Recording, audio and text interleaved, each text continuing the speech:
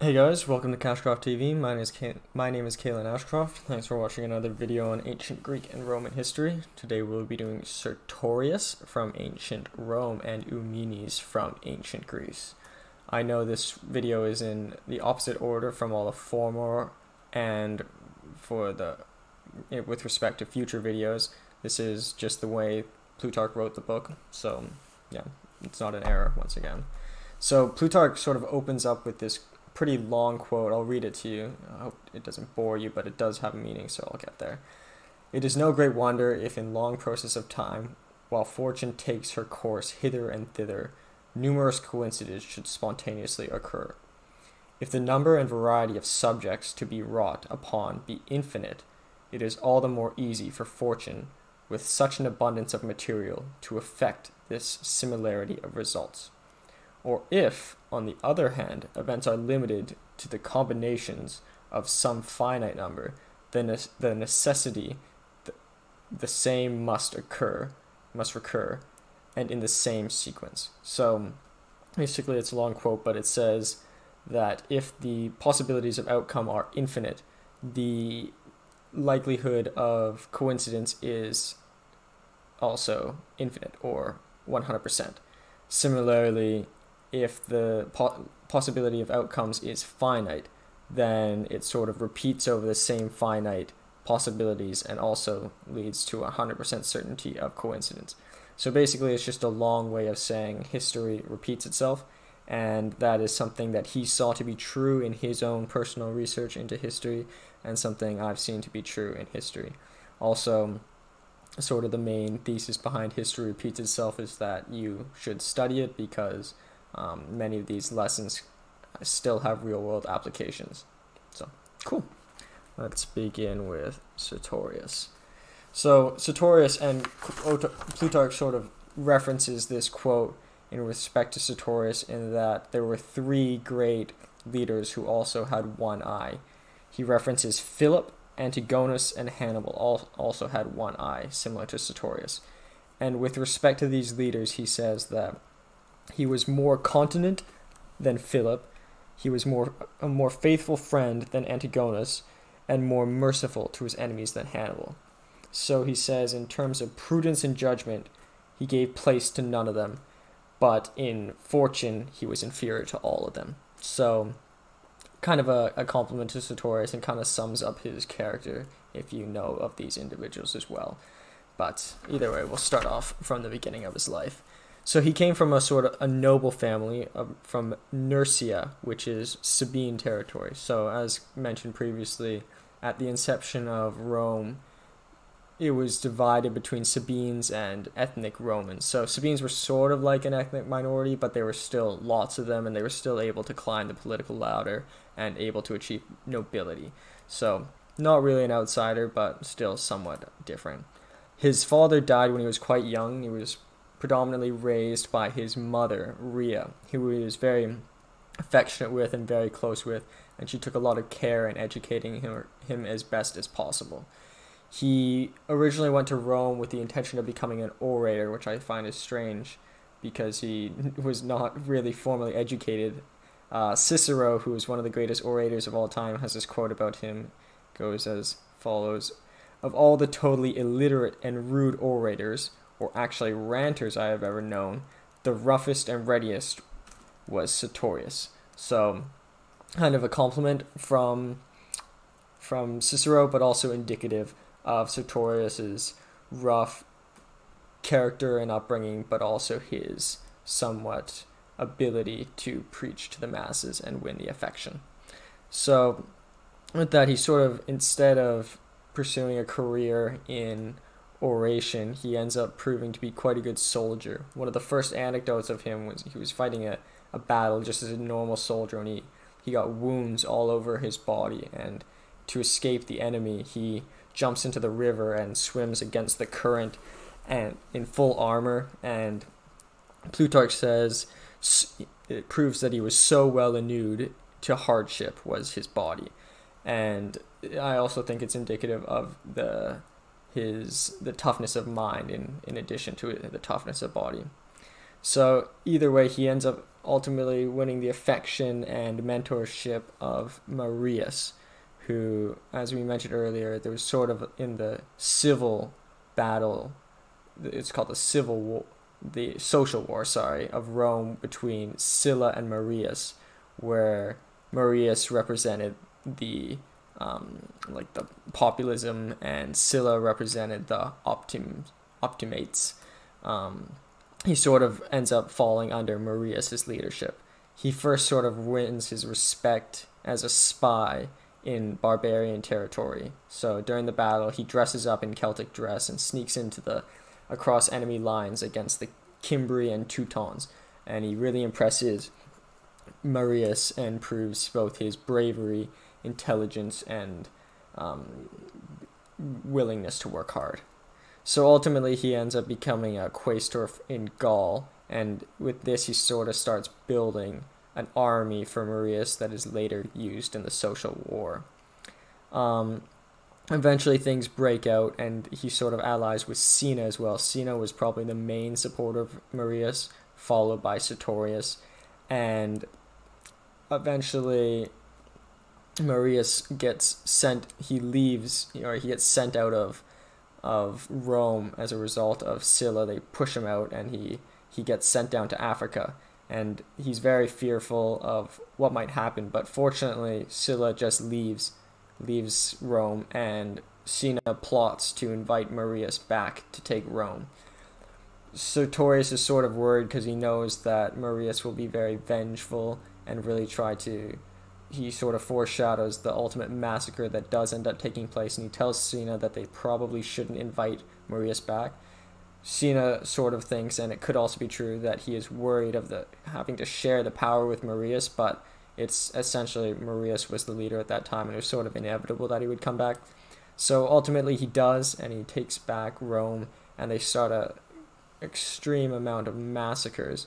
Um, and Sertorius knows that he can't really convince Marius because Marius is quite a bit older and sort of a mentor of his, but he really tries to placate Cinna and really tries to stop all the bloodshed, but with little avail. At one point, he blatantly defies Marius when Marius has this army of 4,000 slaves who he um, directs to rape and kill many supporters of Sylla of hearing of this, Sertorius decides to kill all these 4,000 slaves. So, sort of indicative of his his his willingness to defy his master, but also the what lengths he's willing to go to achieve justice for what he thinks is right. So I think he's a little bit more, despite the fact that it involved killing, he's a little bit more moral, or a little bit more had a bigger heart. Yeah, a bigger heart than um, Marius or Cinna. But either way, Sylla ultimately comes back. At C- Cinna and Marius ultimately die. Marius just died, sort of a drunk old guy, but um, Sylla takes back the place and he sort of gets sent out, or he gets forced out of of Rome, and he ends up going to Spain. He hires this or assigns this general named Salinator to block the Pyrenees Pass but unfortunately he is pushed out by one of Sylla's generals and ultimately forced down to Africa.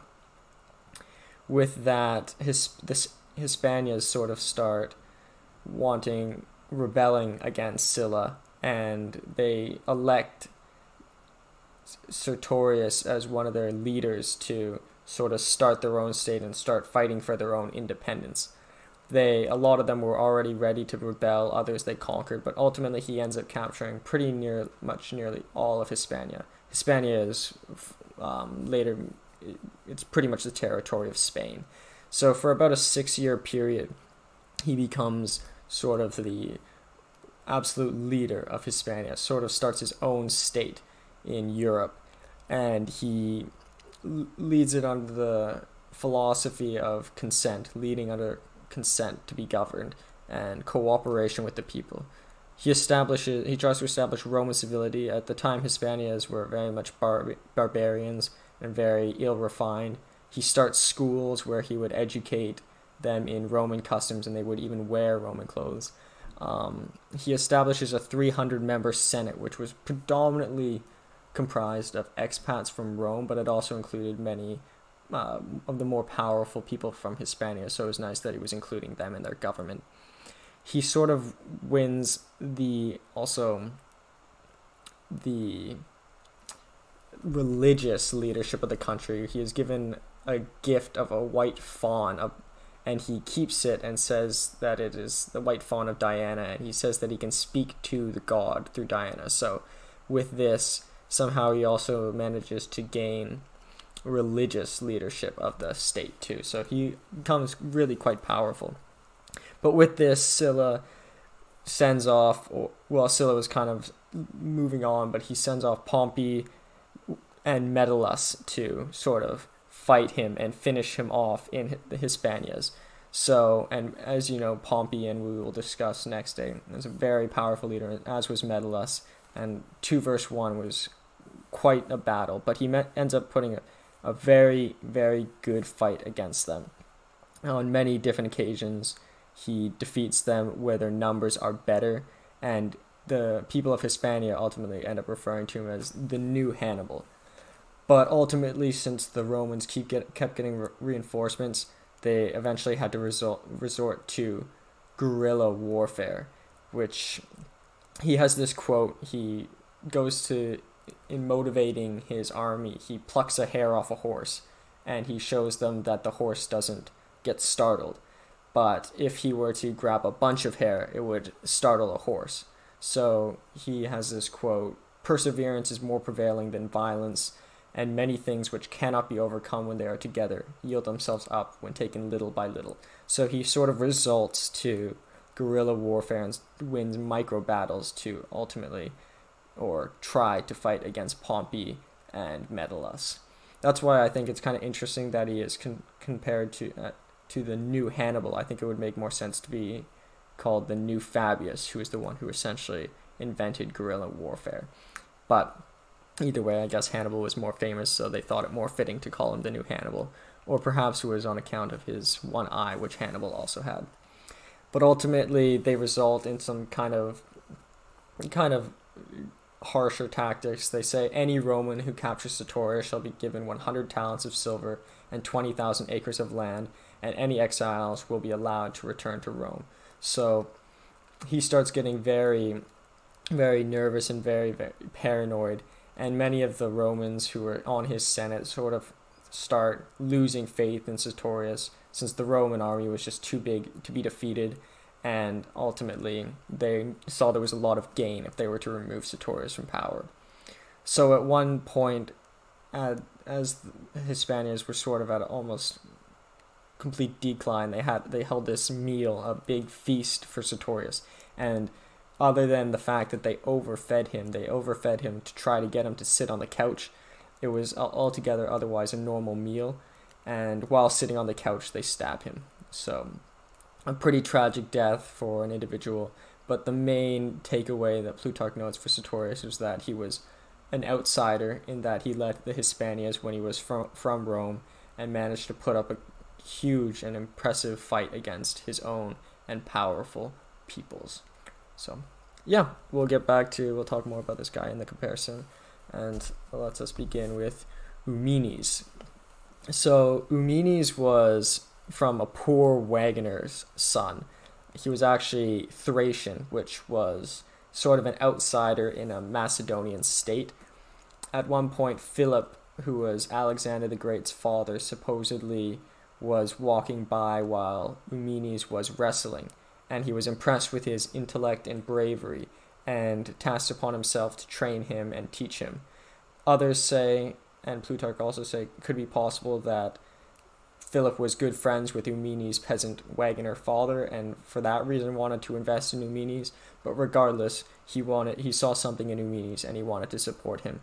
And ultimately, he ends up becoming his principal secretary, and upon his death, he becomes the principal secretary of Alexander the Great, who we will talk about and is probably the the greatest um, conqueror in history.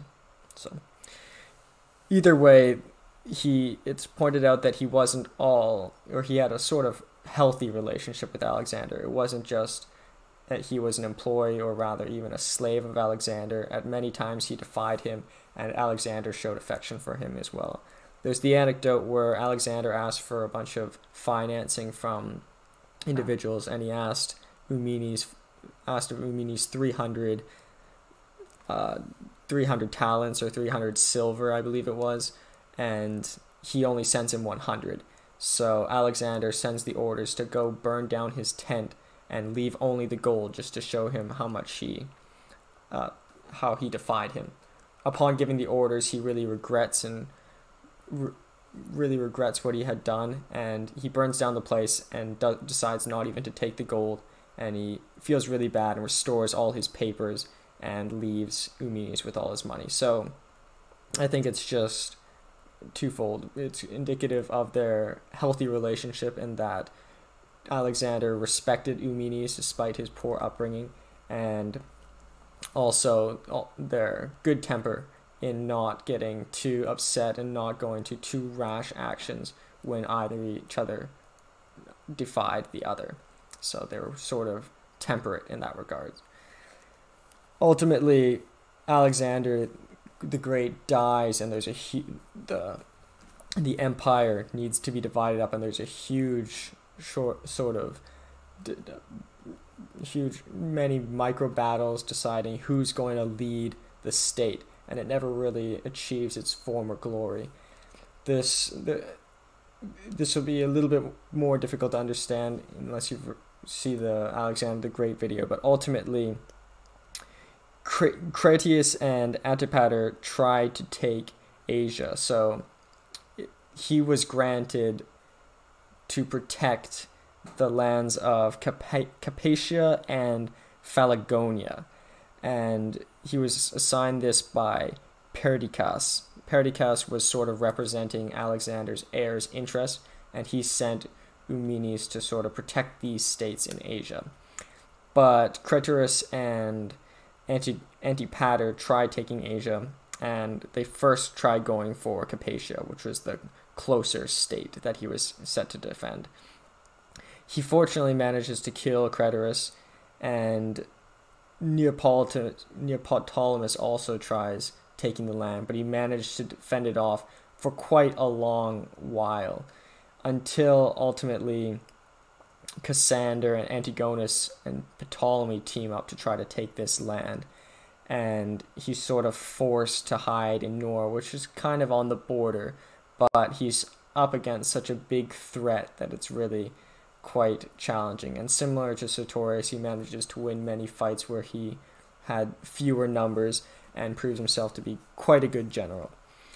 Ultimately, though, one of his soldiers named Peucestas loses their it's called their essentially their loot, which consisted not only of women and children, but 30 years worth of spoils of war, and most importantly, the silver shields, which were their some of the most prized possessions in of Alexander the Great's army, and they offer to give back all these goods to the heir of Alexander in exchange for Eumenes. So Eumenes is given in as a slave. And as a slave, he is starved for three days, and he's really he's upset because he wanted to die in the battlefield and he thought it was not a noble way to die. But ultimately, he is starved for three days and then executed at the at the cause of Antigonus. And sort of not the best way to die, but he proved to be very very uh, very reliable in supporting the interests of Alexander's heir and very not too greedy in that regards. So either way, we'll go to the comparison. So I guess they're I, I find I'm pretty surprised that these two are compared. I don't see too much comparison in that except that they were both outsiders. That's the one Plutarch notes most notably Eumenes was a Thracian supporting Macedonian interests, and he didn't come from a military background. He came from a, um, a secretary, a secretariat background, whereas Sertorius was of Sabine heritage, which was not complete, complete outsider when he was in Rome, but when he represented the His, Hispanias or fought for the Hispanias, he was a complete outsider in that regard, and both managed to achieve quite a bit of success and won quite a few battles. Sertorius managed to achieve full power of those he was supporting, whereas Eumenes was sort of just a, a pawn in a much larger sort of diplomatic dispute. He never really, he never even conquered his own two territories that he was supposed to, Capacia and Paphlagonia. Similarly, Sertorius was pushing for peace sort of his whole life when Marius and Cinna were massacring tons of people he was trying to um, placate this and try to placate his two allies and even his Hispanias. He was not. He was trying to create a good state and good government. However, he was constantly being attacked by Pompey and Metellus, which made things much more difficult. Whereas Eumenes, it is said, sought out war. He wanted to really expand and re reestablish Alexander the Great's empire, and Plutarch says that he could have settled for second place, and if he had done that, Antigonus would have been fine taking first place, and he could have established another smaller state. But instead, he wanted to restore the entirety of Alexander the Great's empire, and in doing so, ultimately resulted in his death and probably the failure of Macedonia ever to reach greatness again. Additionally, there are two deaths. Plutarch always talks about the comparisons of deaths. Sertorius, his death was was he expected it coming. So he had a long period where he was very very worried about being murdered or being assassin assassinated, especially considering there was the the booty, bounty on his head. Whereas Eumenes, it sort of came at a surprise. He was suddenly captured. But usually, Plutarch criticizes someone if they die in captivity. But in Eumenes' respect, in Eumenes' case, he was sort of there wasn't really much he could do. He starved himself, and he really wanted to return to the battlefield. And it's more about his intent than the way he actually died. So both had a pretty decent life in that regards. Um, the very last thing Plutarch compares them with is that Sertorius sort of was formally trained in war in the sense that he came from a war background. He fought many battles before he became a general, whereas Eumenes sort of started off as a more well as a secretary and then became a general, which might have been a bit harder of an uphill battle. But I kind of criticize this point in that he worked under Alexander the Great and he must have learned some great, great lessons from him and probably better lessons learned from Alexander than Sertorius might have learned from Marius. So, yeah, that's Sertorius and Eumenes. I hope you liked the video. Next day we will be doing Pompey and Pompey and Agulus. So Pompey from Rome and Agelus from ancient Greece. So yeah, I hope you enjoyed this video and I hope you watch the next one. Thanks so much. Bye.